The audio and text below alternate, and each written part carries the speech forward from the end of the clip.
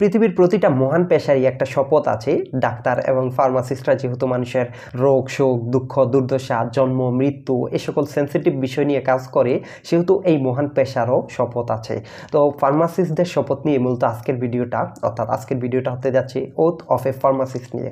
এখন পৃথিবীর বিভিন্ন দেশে ফার্মাসিস্টদের বিভিন্ন রেগুলেটরি সংগঠন আছে, ফার্মাসিস্টদের নিজস্ব সংগঠন আছে, সেই সংগঠনগুলো এই শপথটাকে বিভিন্নভাবে ডিসক্রাইব করে থাকে। তবে সবচেয়ে বেশি যেই শপথটা প্রচলিত সেটা হচ্ছে এএসসিপি অর্থাৎ American association of colleges of pharmacy এই সংগঠনটা যে সপোর্টটা দিয়েছে, সেই শপথটাই মূলত সবচেয়ে বেশি প্রচলিত। আমার মনে আছে, আমরা যখন ফার্মেসিতে এসেছিলাম, তখনও আমরা এএসসিপির সপোর্টটাই নিয়েছিলাম। সেই কাগজটা মূলত আমার কাছে এখনও আছে, এই যে এইখানে দেওয়া আছে। তো এই শপথটাই মূলত আজকের ভিডিওতে বলব। এই শপথটা কিন্তু রাজশাহী বিশ্ববিদ্যালয়ে দুই হাজার সতেরো সালে এসছে, দুই হাজার উনিশ সালে এসছে। শুরুতেই আমি বল নেই, এই শপথটা বাংলা ভাষায়, ইংরেজি ভাষা থেকে কেউ ট্রান্সলেশন করেনি, সেক্ষেত্রে আমি প্রথম ট্রান্সলেশন করছি। জানি না কতটুকু সঠিক হয়েছে, তবে আমি চেষ্টা করেছি যতটুকু পারা যায়। তো শুরুতেই যদি দেখি I promise to devote myself to a lifetime of service to the others through the profession of pharmacy আমি ফার্মেসি পেশার মাধ্যমে অন্যদের সেবায় আজীবন নিজেকে উৎসর্গ করার প্রতিশ্রুতি দিচ্ছি। ইন ফুলফিলিং দিস ভৌ এই শপথ পূরণে মূলত এরপর থেকেই আসবে শপথটা। কি বলছে? I will consider the welfare of humanity and relief of suffering my primary concern আমি মানবতার কল্যাণের বিবেচনা করব এবং দুঃখ কষ্ট থেকে মুক্তি দেওয়া আমার প্রাথমিক লক্ষ্য। একজন ফার্মাসিস্টের কাজ কি? মানবতার কল্যাণে কাজ করা এবং হচ্ছে মানুষকে ওষুধের মাধ্যমে কিংবা মানুষকে সেবা করার মাধ্যমে দুঃখ কষ্ট থেকে মুক্তি দেওয়া, এটা বলা আছে। তারপর কি বলছে? I will promote inclusion embrace diversity and advocate for justice to advance health equity অর্থাৎ স্বাস্থ্য খাত যেহেতু একটা সম্মিলিত খাত, সেহেতু আমি অন্তর্ভুক্তির প্রচার করব, বৈচিত্র্যকে স্বেচ্ছায় গ্রহণ করব এবং স্বাস্থ্য সমতাকে এগিয়ে নিতে ন্যায় বিচারের পক্ষে সমর্থন করব। এই জায়গায় স্বাস্থ্য সমতা জিনিসটা আসলে কি? স্বাস্থ্য সমতা খুবই গুরুত্বপূর্ণ একটা বিষয়, সেটা হচ্ছে একজন ধনী, প্রভাবশালী ব্যক্তি এবং একজন দরিদ্র ব্যক্তি যদি আমাদের হাসপাতালে আসে, তাহলে আমরা এক্ষেত্রে কোন বিষয়টাকে গুরুত্ব দিচ্ছি? আমরা কি শুধু তাদের অবস্থানের বিষয়টাকে উপর ভিত্তি করে ওনাদেরকে চিকিৎসা সেবা দিচ্ছি, নাকি ওনাদের যে শারীরিক অবস্থা, শারীরিক কন্ডিশন রোগের অবস্থা, সেই বিষয়টার উপর ভিত্তি করে ওনাদেরকে বিবেচনা করছি, সেটাই কিন্তু স্বাস্থ্য সমতা তো আমাদের স্বাস্থ্য সমতা কি বলে? স্বাস্থ্য সমতা বলে যে হাসপাতালে যেই রুগীর অবস্থা যত খারাপ, সেই রুগীকে খুব দ্রুত ট্রিটমেন্টের ব্যবস্থা ব্যবস্থা করতে হবে। তো এটাই হচ্ছে স্বাস্থ্য সমতা তো স্বাস্থ্য সমতাকে এগিয়ে নেওয়ার জন্য কি আমি ন্যায় বিচারের পক্ষ সমর্থন করব। I will apply my knowledge experience and skills to the best of my ability to assure optimal outcome for all patients, অর্থাৎ সমস্ত রুগীর জন্য সর্বোত্তম ফলাফল নিশ্চিত করার জন্য আমি আমার জ্ঞান, অভিজ্ঞতা এবং দক্ষতার সর্বোত্তম প্রয়োগ করব। আমার যতটুকু জ্ঞান, দক্ষতা এবং অভিজ্ঞতার সর্বোত্তম যে প্রয়োগটা আছে, সেই প্রয়োগটা করব রুগীদের সর্বোত্তম ভালো ফলাফল পাওয়ার জন্য তারপর কি বলছে I will respect and protect all personal and health information entrusted to me. আমি আমার উপর অর্পিত সমস্ত ব্যক্তিগত তথ্য এবং স্বাস্থ্য তথ্যকে সম্মান করব, রক্ষা করব।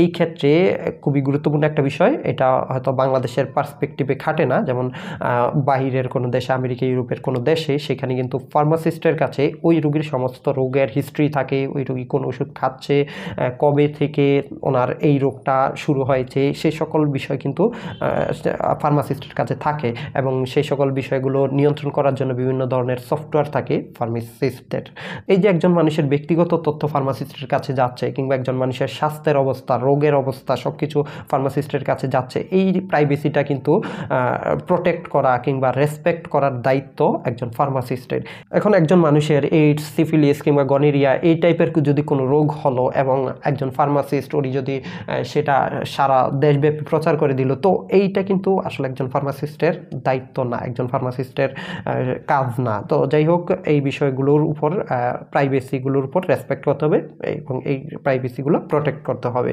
তারপর কি বলা আছে? I will accept the responsibility to improve my professional knowledge expertise and self awareness অর্থাৎ আমি আমার পেশাগত জ্ঞান, দক্ষতা এবং আত্মসচেতনতা উন্নয়ন করার দায়িত্ব গ্রহণ করব। কীভাবে উন্নয়ন করব? যেমন হচ্ছে আমার যে নলেজটা আছে, সেই নলেজ আমি নিয়মিত বিভিন্ন ট্রেনিংয়ে অংশগ্রহণ করব, বিভিন্ন কর্মশালায় অংশগ্রহণ করব, বিভিন্ন পড়া পর্ব, বই পর্ব বিভিন্ন জার্নাল আছে, সেই জার্নালগুলো পড়ব। এগুলোর মাধ্যমে আমি আমার এক্সপার্টিস নলেজ এবং সেলফ অ্যাওয়ারনেস এগুলো কিন্তু উন্নত করার দায়িত্ব কিন্তু গ্রহণ করব। তারপরে কি বলা আছে? তারপরে বলা আছে, I hold myself and my colleagues to the highest principles of our professions moral ethical and legal conduct. অর্থাৎ আমি নিজেকে এবং আমার সহকর্মীদের, আমাদের পেশার যে নৈতিক এবং আইনগত আচরণ আছে, সেই আচরণের সর্বোচ্চ নীতিতে ধরে রাখব। আমি নিজে তো সেই সর্বোচ্চ নীতিটা ধরে রাখার চেষ্টা করব। সেই সাথে আমার সহকর্মী যারা আছে, তাদেরকেও চেষ্টা করব যে সর্বোচ্চ যেন ইথিক্যাল যেই জায়গাটা আছে, সেই জায়গাটাতে রাখার জন্য। তারপর কি বলছে? I will embrace and advocate changes that improve patient care. রোগীর উন্নতি করে এমন পরিবর্তন আমি স্বেচ্ছায় গ্রহণ করব এবং সমর্থন করব।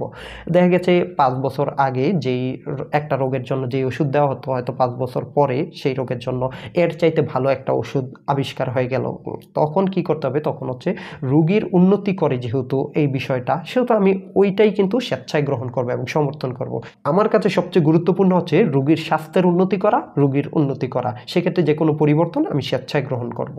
I will utilize my knowledge skills experiences and values to prepare the next generation of pharmacist আমি আমার জ্ঞান, দক্ষতা, অভিজ্ঞতা এবং মূল্যবোধকে পরবর্তী প্রজন্মের ফার্মাসিস্ট তৈরি করতে কাজে লাগাবো। যেমন বাংলাদেশে ইন্ডাস্ট্রিয়াল ফার্মাসিস্ট হওয়ার জন্য একজন ফার্মেসি স্টুডেন্টকে তার লাস্ট ইয়ারে বিভিন্ন ফার্মাসিউটিক্যাল ইন্ডাস্ট্রিতে কিন্তু ইন্টার্নশিপ করতে হয়। তো ইন্টার্নশিপগুলোতে কি হয়? ইন্টার্নশিপগুলোতে যে ওই কোম্পানি লাভ হয় এমনটা কিছু না। কিন্তু ওই ইন্টার্নশিপ করানোর যে প্রসেসটা সেই প্রসেসটা হচ্ছে ওই কোম্পানির একটা নৈতিক দায়িত্ব।